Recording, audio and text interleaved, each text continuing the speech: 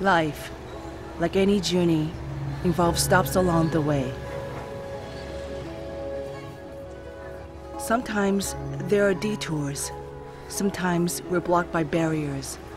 And sometimes beautiful and unexpected things happen. This is one such journey, the journey of my life. My name is Dini Waidyanityas. I'm not an actress. I'm the real Dini of the story. And this is my life. Let the journey begin.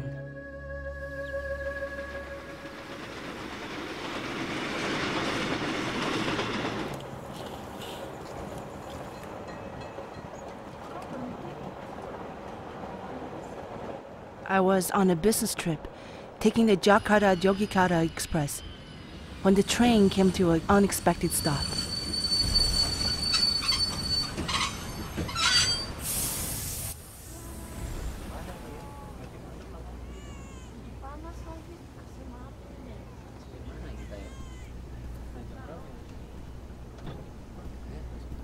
Excuse me, sir. Yes, ma'am. Why are we stopping here? I don't know, ma'am. There may be mechanical difficulty. When are you going to know something? I'm going to ask the engineer, ma'am. You're coming back, aren't you?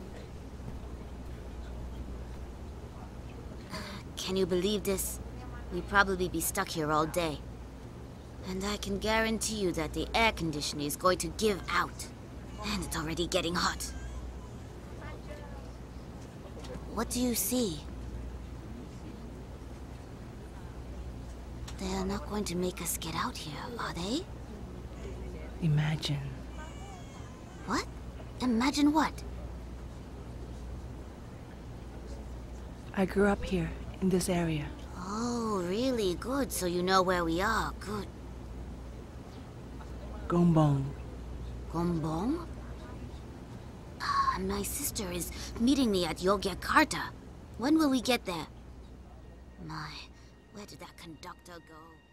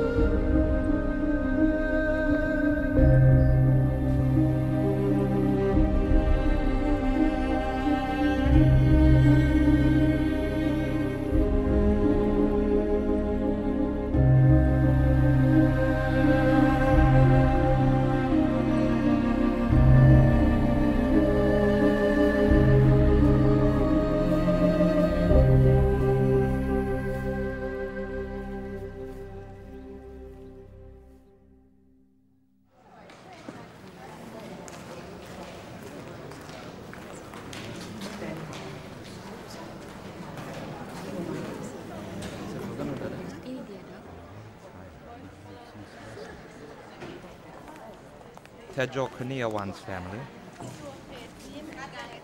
Are you Mrs. Kaniawan? I am Tejo Karniawan's wife.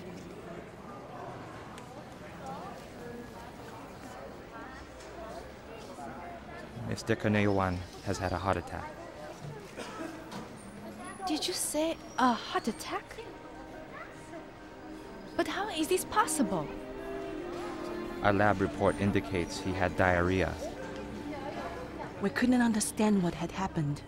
My father had been perfectly fine one moment, then ill with diarrhea and vomiting the next. After we checked his blood pressure, Several hours after he was taken to the hospital, he had a heart attack, and then he died. We were going to inform you. now, He died just like that. I felt as if I had been struck by lightning.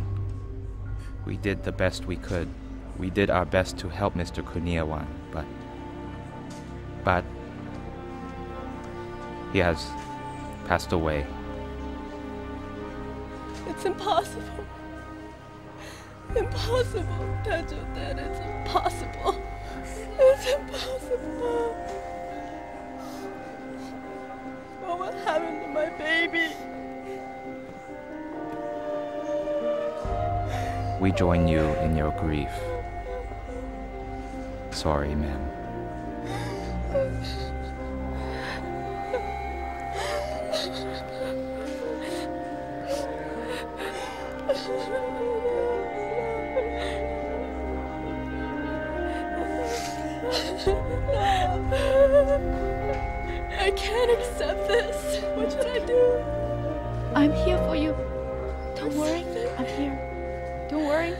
Please. I have to tell you. I'm right here with you. My father had been having an affair with my aunt Sundari, my mother's sister.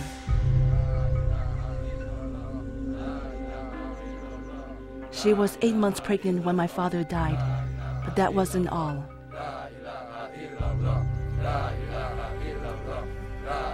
My mother was also pregnant at the time. I didn't know what to do or where to turn. All along, I considered my dad as a hero.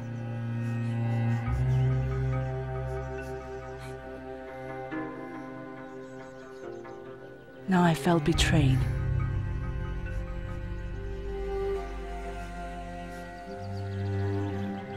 Please go ahead, sir.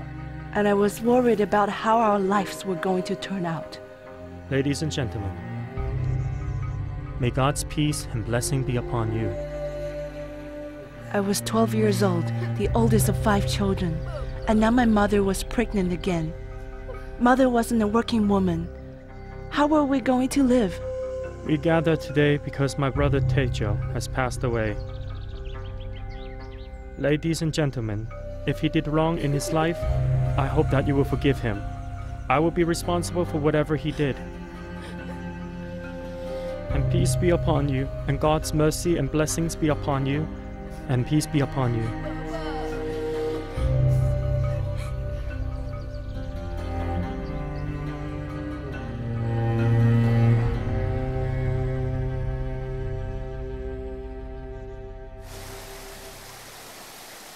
I suppose Aunt Sundari had it worse, though I wouldn't have thought so at the time.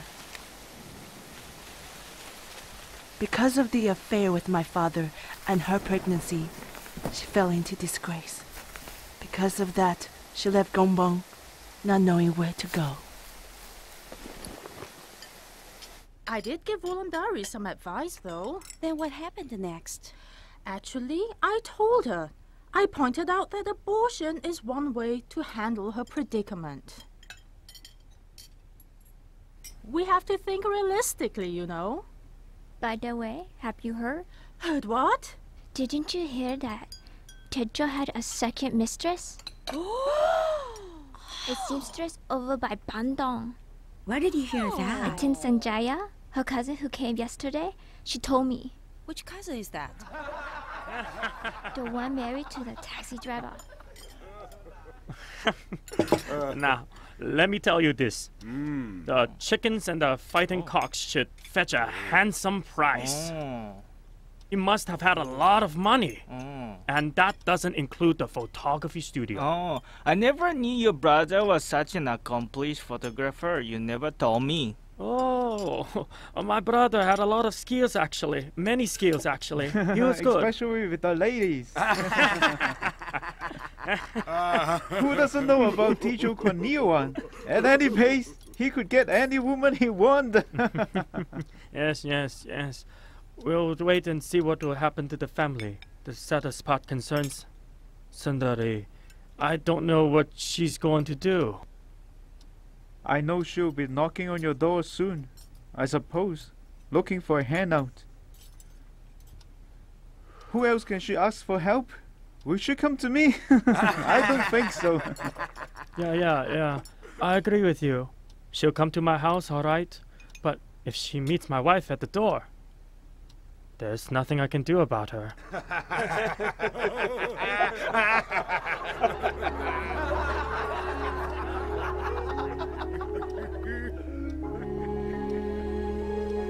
The very people we were counting on to help us said things which hurt the heart.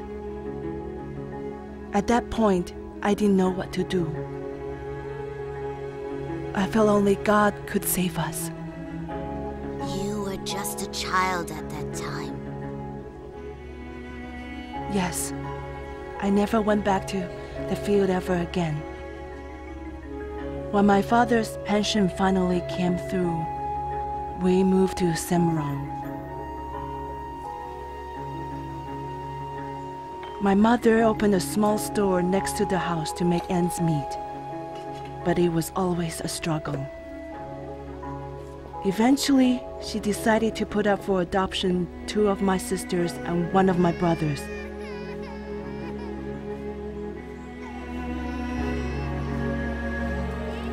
I also heard things were worse for Aunt Sundari. After her son was born, she moved to Sukoharjo to live with my grandmother. Two years went by. Those were difficult years.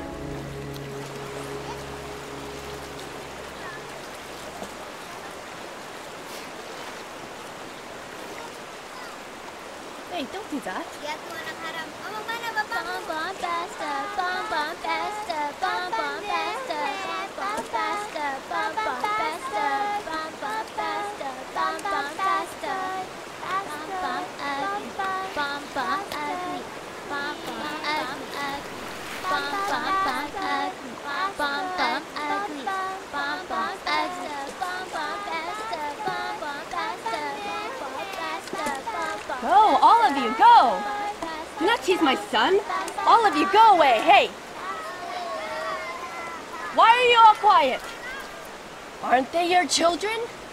I can't believe you're all quiet. So this is how you raise your children.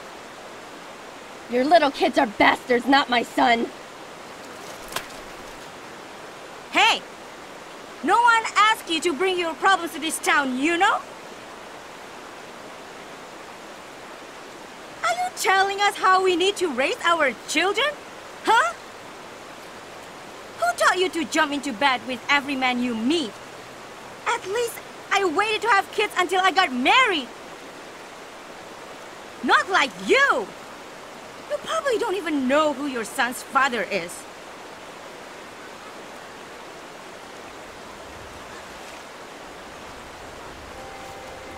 She doesn't even know her son's father.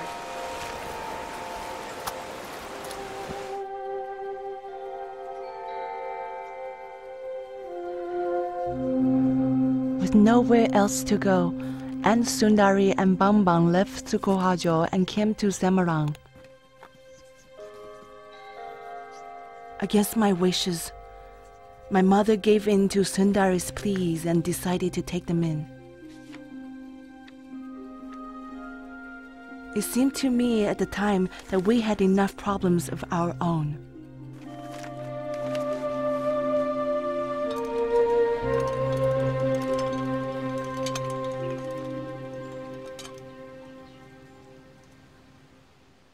Later, would you help me take the clothes off the line? Go away! What are you doing here? I said go away! Do you know? I hate you! I hate you!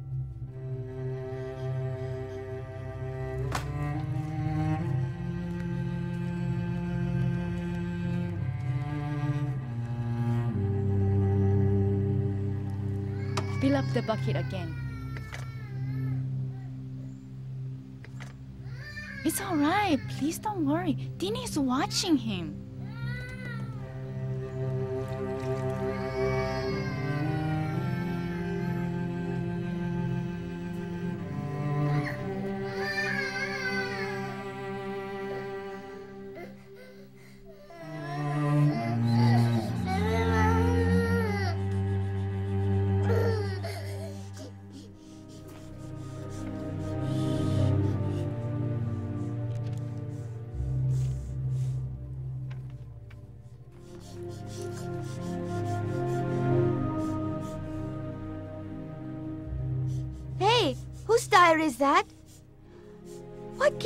Right to read someone else's diary?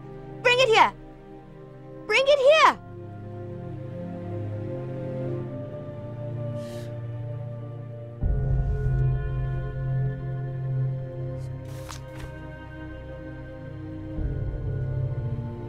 When I discovered Aunt Sundari reading my diary, I could not hold it in anymore. While I may have written some cruel things about her and Bambang, they were all true. At least they were all true to me. After that, I told my mother to choose between them and me. I should have been happy to see Aunt Sundari and Bambang go back to Sukoharjo, and I was. But anger toward the two of them began to give way to anger toward someone else, my mother. I discovered she planned to marry again, a decision she had made without discussing with anyone else in the family. And I began to think, what is the point in praying five times a day or not cheating in school? What's the point in restraining myself from sinful things if I won't be entering heaven anyway because I can't forgive my mother? It all made me so angry. I finally came to the conclusion that I didn't care about religion anymore. I didn't care about being polite. I just wanted to be free. I wanted to do what I wanted to do, and I decided nothing was going to get in my way, including religion.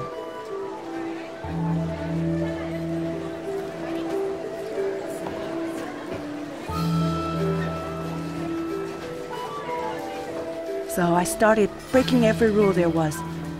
It was my first year of high school. I did everything I wanted. But then I saw things that were shocking. Such as seeing one of my friends crawling on the floor and bleeding because she had a miscarriage. Or another friend going to jail because he was caught stealing. I began to ask myself, is this really the kind of life I want? Life within the confines of religion hadn't made me happy, but a free life without the rules of religion wasn't something I wanted either.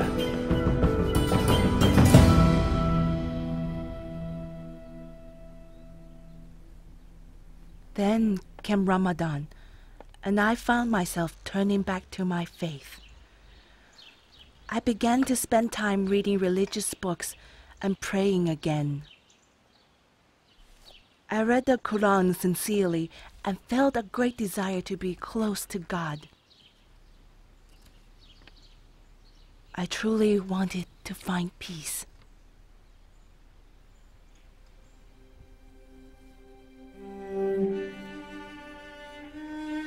I prepared myself for the Tahajjud prayer.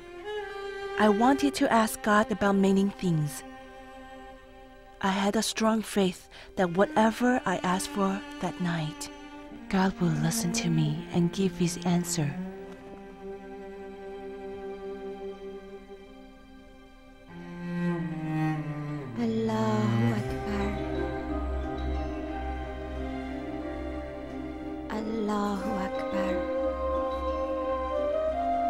Prayed according to the memorized verses. Wa rahmatullah. Assalamu alaikum. Wa rahmatullah. Truly, my heart was broken and I cried out to God. Oh God. Oh God, from the depths of my heart, I want to please you more than anything. Please show me the way, God, and I promise I'll follow you wherever you lead me. But if you don't, if you don't show me the way tonight, I don't know, I don't know what I will do. If you don't show me the way tonight, don't blame me for what happens. Don't blame me for living the way I choose. But if you. But if you show me who you are and what. What you want from me? I promise you. I promise you, my dear God, that I will follow you wherever you lead.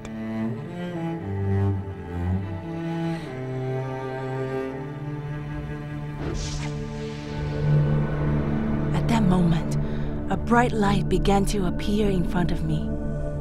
It took the form of a figure, a man in a white robe. I couldn't see the details of his face, but his presence was somehow calm and reassuring. And suddenly, without knowing how, I realized he was Jesus, and he said, Follow me. Dini, follow me. I was very confused because I thought, Lord, I'm a Muslim. How is it possible to follow you? You're the one that people call the God of the Christians, the God of the infidels, who don't know Allah. And he waited for me to come to him. Tears began to cover my face, and finally I said, God, if this is the way of truth, then I want to follow you.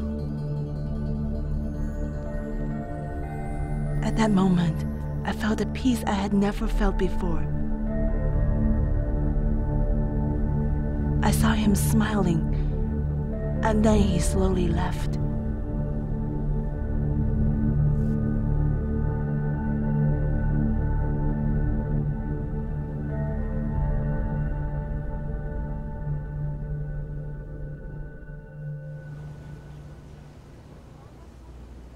I hope I haven't offended you, ma'am. Whatever happened obviously affected you deeply. I'll never be the same. I've never been the same since that day. I understand. Tell me what happened next. I looked for someone who was a Christian. There was none in my small village. I looked, but I knew of a Christian family in a village nearby. I started to go there. They were afraid of me at first because I asked them for a Bible. But eventually, they gave me a Bible and I began to read it. I hid everything from my mother. But she found out before long. I know, mothers always find out. What happened next? Well, she pleaded with me to change. She cried. She thought she was a failure as a mother. That somehow it was all her fault. Or that I was still angry with her. You know, trying to get revenge. And the rest of the family?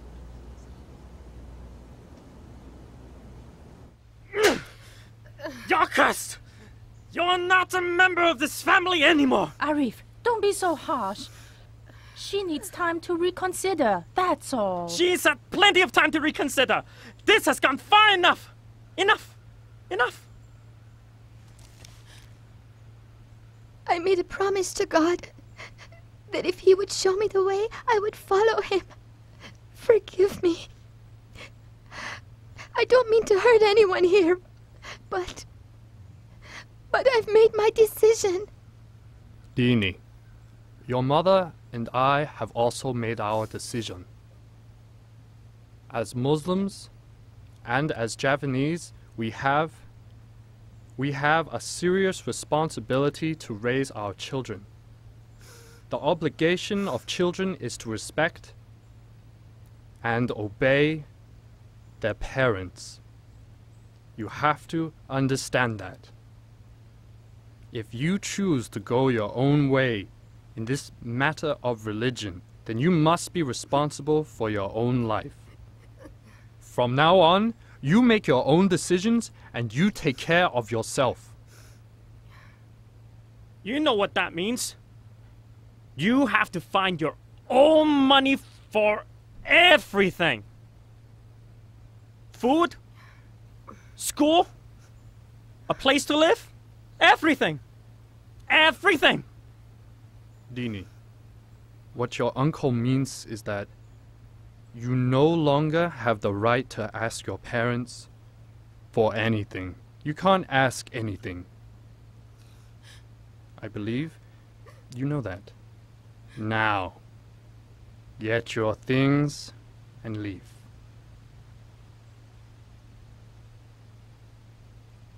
Hurry up!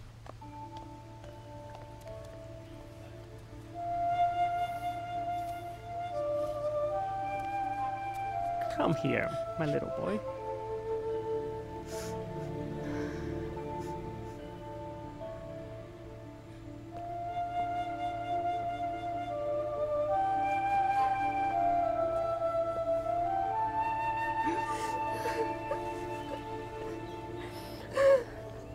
I don't know where the strength came from, but I left home.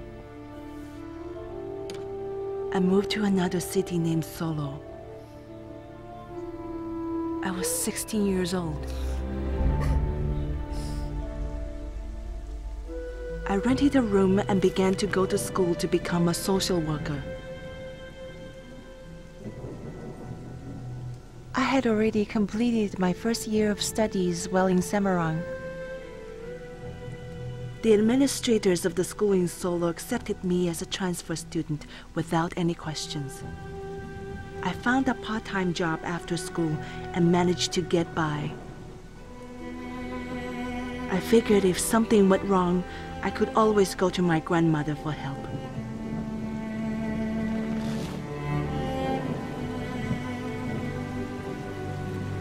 I spent three years in Solo. I returned home for visits every so often. When I graduated from school, I eventually found a job in Semarang. When I moved back, it was difficult at first, but eventually things got back to normal. Wow. That's a relief. I guess it's behind you now. It must have been a struggle for them to forgive. No, no, actually the one who struggled the most was I. I thought I thought Christians are supposed to forgive. Yes, that is true. But it can be a very, very long distance. From here to here.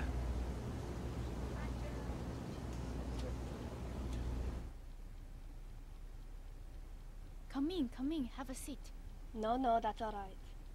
You look exhausted. Well, I think I'm worried more than tired.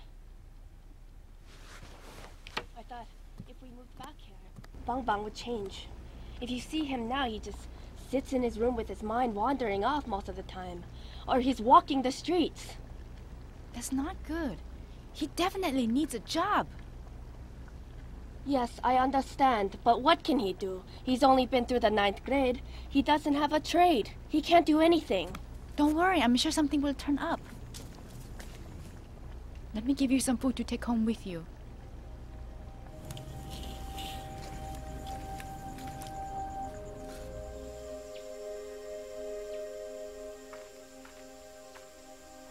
Assalamualaikum.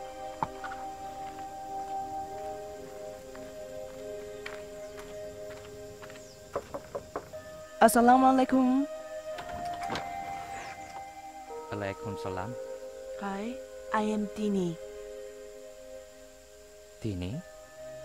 Yes, it's me, Dini. Is your mother home? Yes, she is.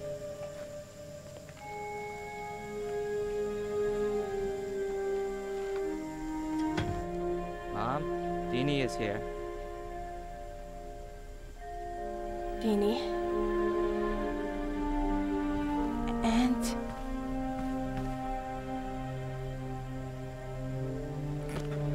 Please have a seat. Do you want something to drink, Dini? Please don't trouble yourself. A few days ago, I overheard a conversation between you and Mom. I. I can't handle it. I'm so sorry. I've treated you so badly. Forgive me. Forgive Forgive me. It's all right, Dini. I am so ashamed. Please forgive me. Forgive me for the mean things I've done to both of you. Forgive me, please. I'm so sorry. That's fine, Dini. I have already forgiven you.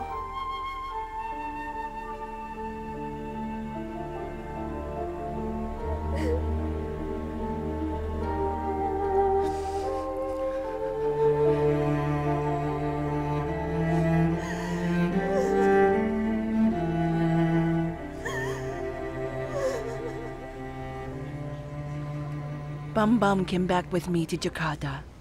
When we got settled, I gave him money to start a small business selling shoes at the market. After three months, he began to make a profit and didn't need money from me anymore.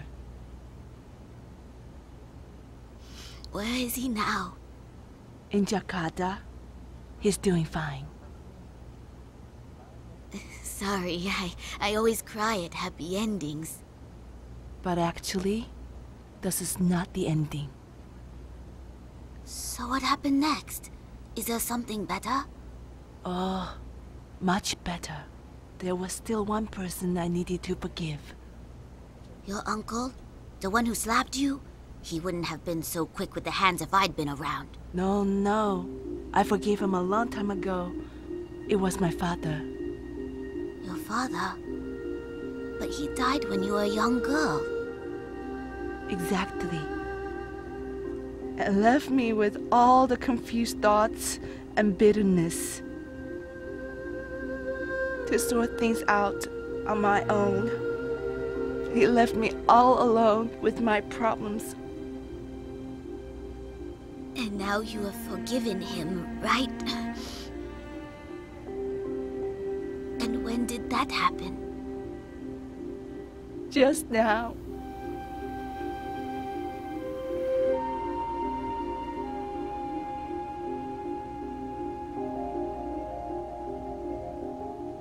Do you see that cemetery across the way? Yes, I see it. My father is buried there. Until this train stopped a short while ago. My unforgiveness was buried there, too. But God, because He is the God of love, couldn't let me have it my way. I had to learn my lessons. He says that if we want to be forgiven our sins, we must forgive those who have sinned against us.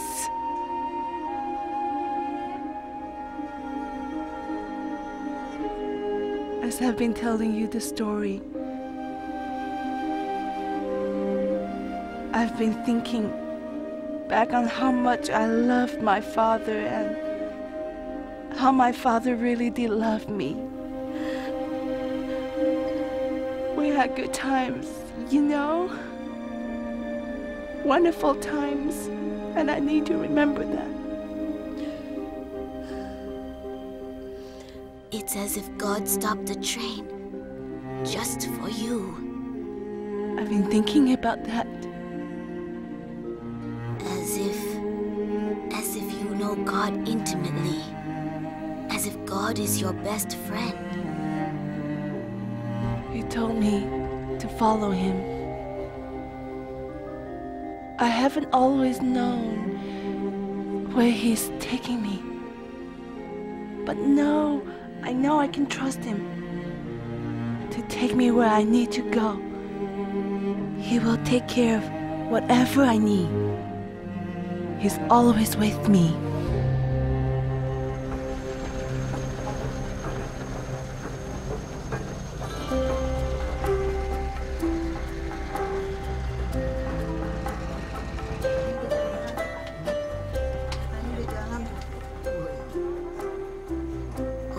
moving. we're moving. Yes, we're moving. And they didn't turn off the air conditioning. no, they didn't. I guess now the story ends here. Or is it just beginning? Does this one have a happy ending? Ma'am, you'll have to tell me how it ends.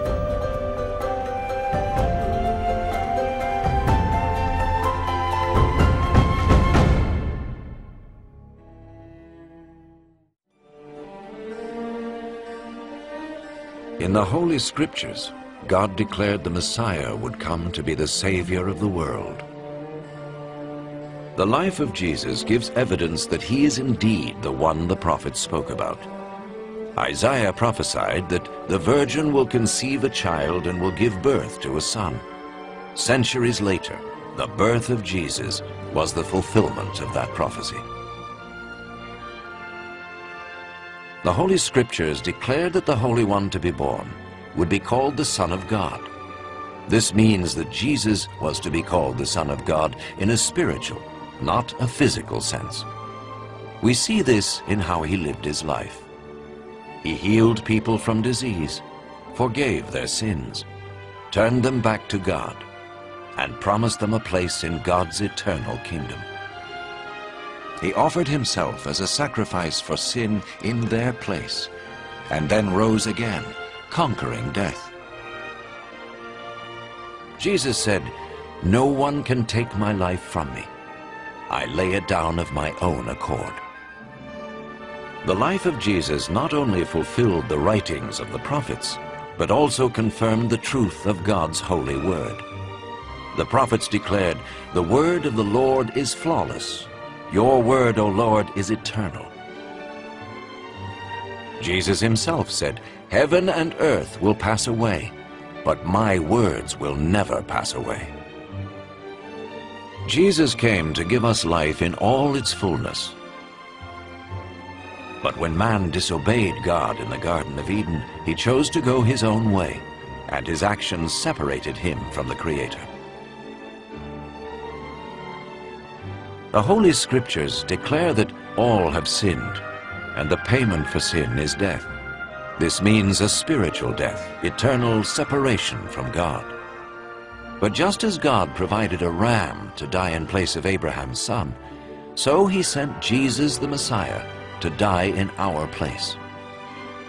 His life, death, and resurrection restored the relationship between God and all those who put their trust in him.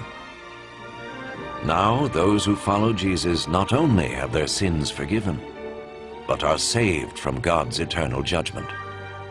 They are assured of paradise and will live with him forever. It is this life and freedom from the guilt and power of sin that Jesus offers each person today. This does not mean following a religion, but choosing to have faith in Jesus, who says, I stand at the door and knock.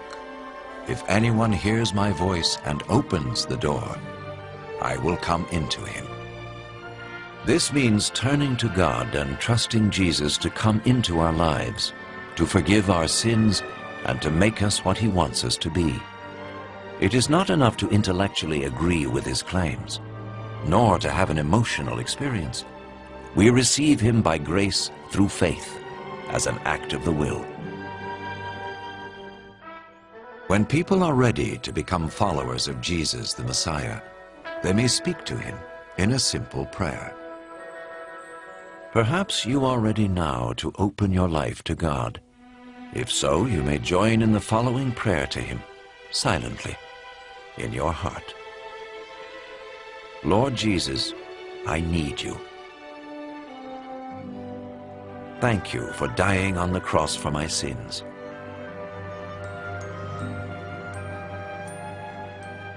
I confess and repent of my sins. I open the door of my life and receive you as my Savior and Lord.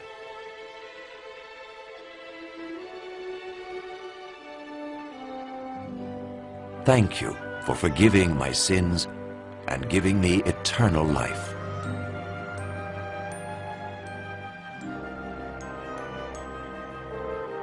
Make me the kind of person you want me to be. As I become one of your followers. Amen. Jesus said about his followers, My sheep recognize my voice. I know them, and they follow me. In order to experience the abundant life which Jesus promised, his followers talk to God each day in prayer and read or listen to his word. They tell others about him and meet regularly with those who love and follow him. Remember his wonderful promise. All power is given to me in heaven and in earth. Lo, I am with you always, even to the end of the world.